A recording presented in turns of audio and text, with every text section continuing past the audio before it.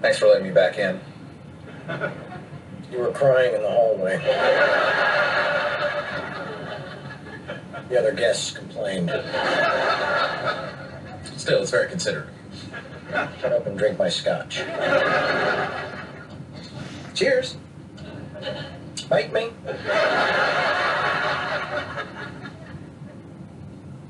So this is kind of fun, though. You and me sharing a hotel room just like when we were kids. Swell. Remember that time Mom took us on that Caribbean cruise? We had our own cabin. Yeah? Took us three days to figure out Mom was on another boat. Good times. We've lost our house, Charlie.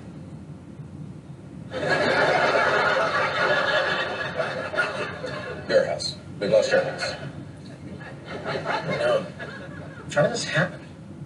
slowly. In increments. Starting with the butter. I can see that. The problem is the women have established a beachhead. What? Nothing. Nothing. You just reminded me why I bought a house in Malibu.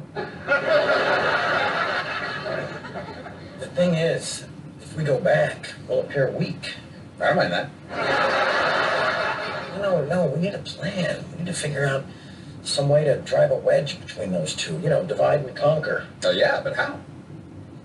I'm not sure. Maybe we should sleep on it. Want to watch some porn first? No!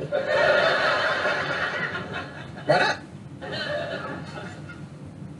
I'm drunk in bed in a hotel room with my brother, and you want to know why I don't want to watch porn.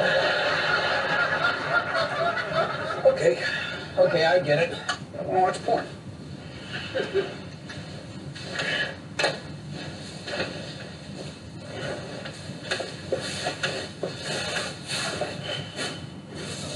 Mind if I watch?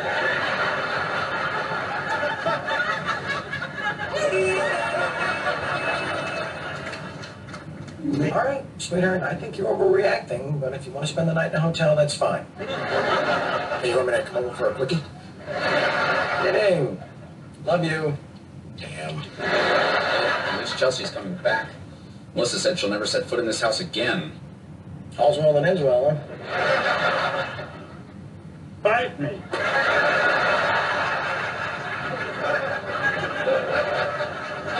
Oh, come on. The important thing is we got the house back. And we're once again kings of the castle. Kings of the castle, my ass.